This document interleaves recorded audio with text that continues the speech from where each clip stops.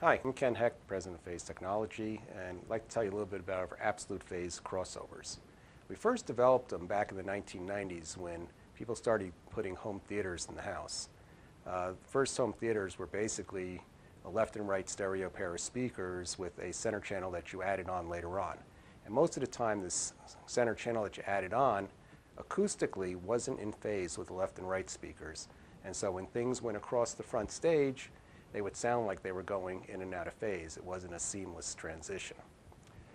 So we developed the absolute phase crossovers for the phase technology line to make sure that no matter what speaker you chose with the rest of our speakers, they would sound seamlessly as it went around the room.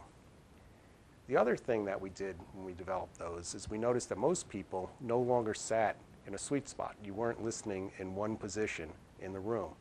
Whole families were watching movies, and we thought it fair that everybody in the room got the same on-axis response or sweet spot as the person sitting in the center.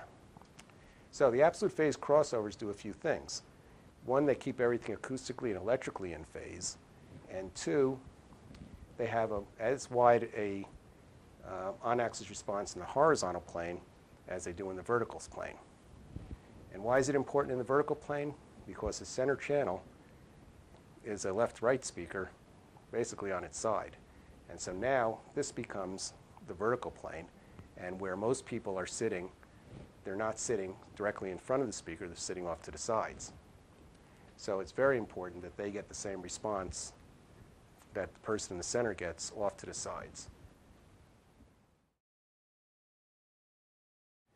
Absolute phase crossovers are very demonstrable.